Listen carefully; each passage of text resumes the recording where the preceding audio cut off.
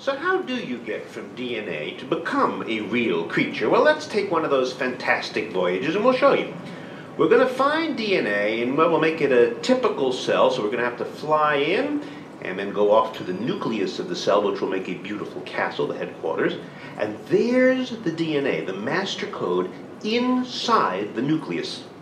DNA, says Greg, never leaves the nucleus. You ever meet one of those mean librarians, you know, Yes. special reserve section? The one that go pow. Right, you can take the thing, you can copy it, but you can't take the book because somebody else might need it.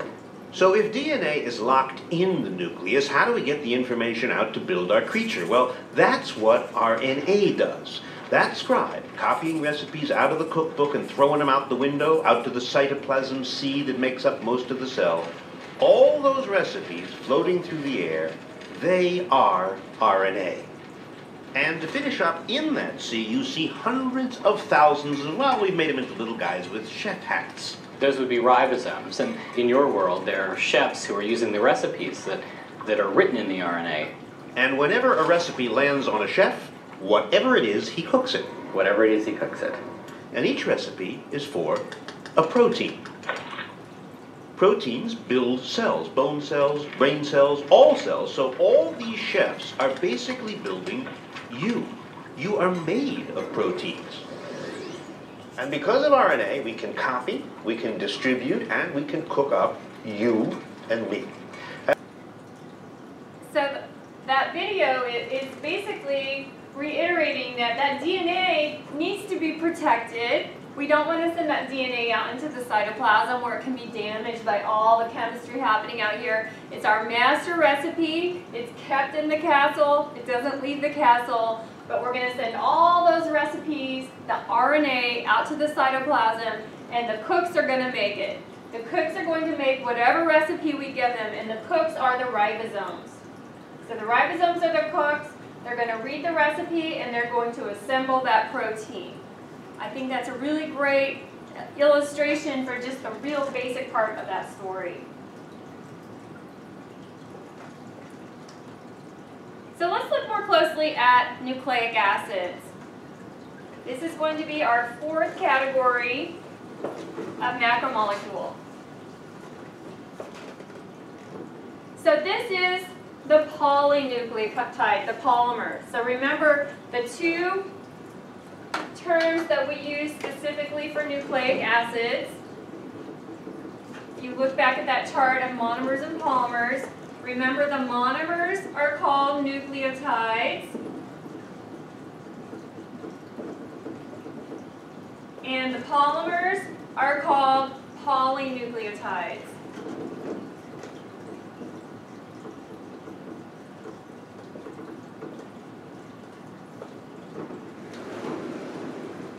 So depending on whether we're talking about RNA or DNA, the nucleotides are going to be different.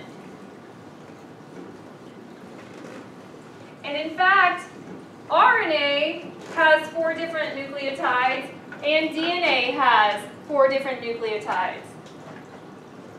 So RNA, DNA.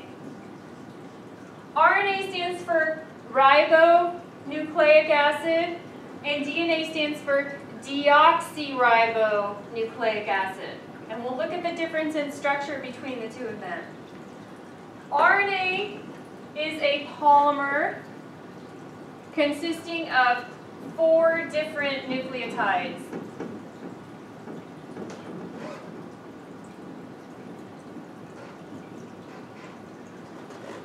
And DNA is a polymer consisting of four different nucleotides.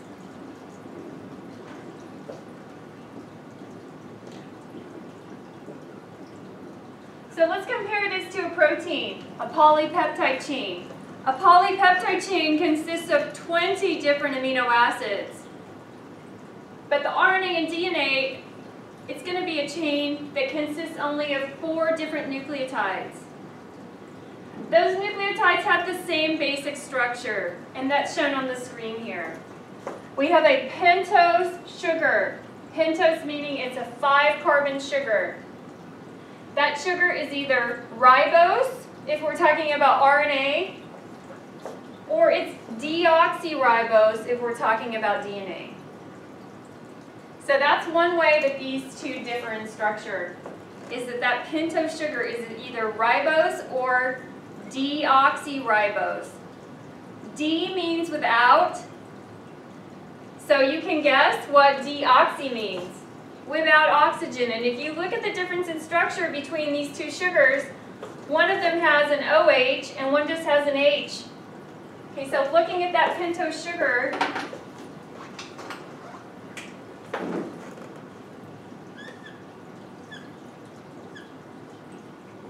this would be ribose.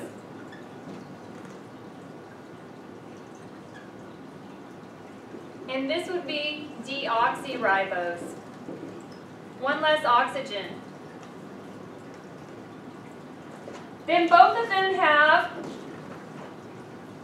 a base in this location, and then a phosphate group.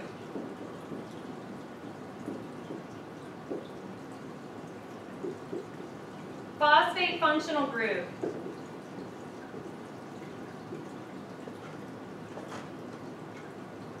This was one of the functional groups that I said was going to be very, very important in understanding DNA, RNA, and also ATP. That's a double bond to that one oxygen. Sorry, it's not drawn very clearly. So phosphate group. Pentose sugar differs between RNA and DNA. Phosphate group is the same. Those bases differ only in one. Okay, so both DNA and RNA have adenine, guanine, and cytosine, but then when we get to this last base, DNA has thymine and RNA has uracil. We typically represent those bases by just the first letter of the base.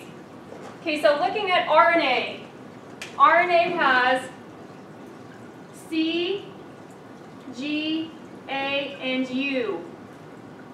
DNA has C, G, A, and T. This is where they differ.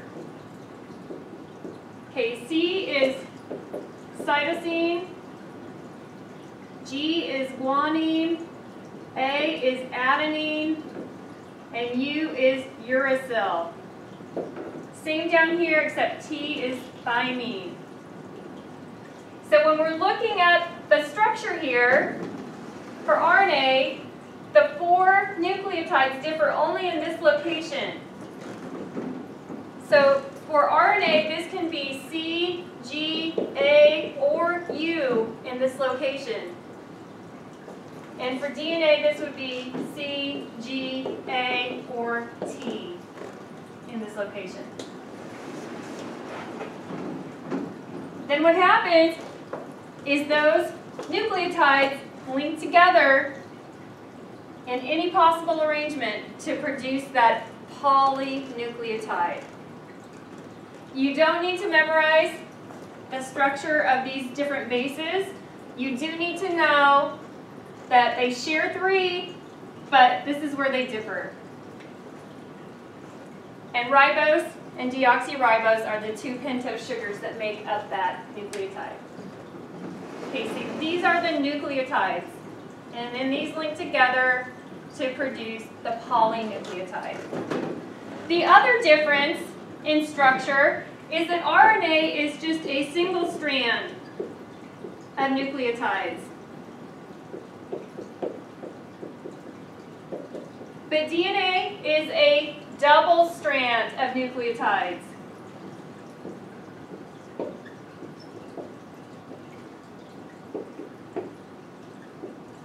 One runs one direction and one runs the other direction. They're called anti-parallel. They run like this.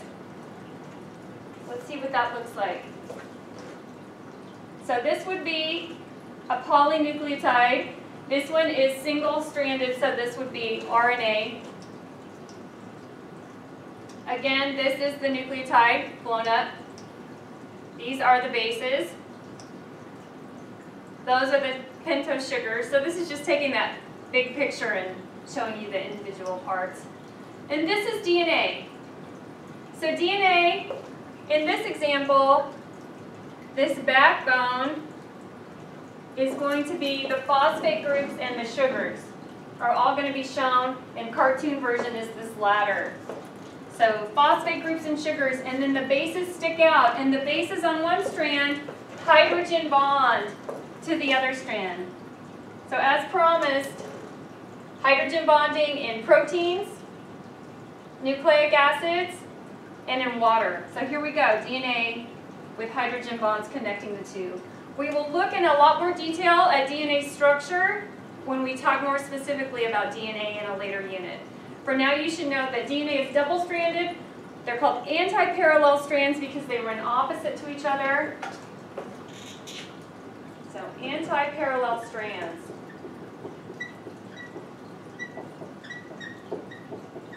Squeaky marker. And RNA is just a single-stranded polynucleotide. Okay, so that concludes the macromolecules. You now should know about carbohydrates, lipids, proteins, and nucleic acids. Now we're going to put that information to use in understanding the cell and how cells function.